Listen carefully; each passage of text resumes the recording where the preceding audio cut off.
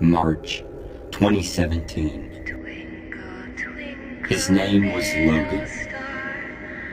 Three years ago, his younger sisters perished in a fire. They will never be forgotten.